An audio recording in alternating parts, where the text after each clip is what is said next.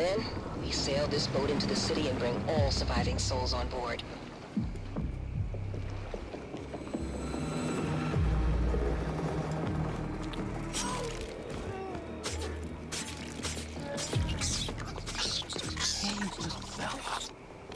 What are you doing here?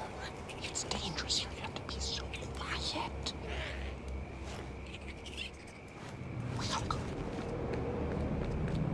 Orleans is counting on us, my brothers and sisters.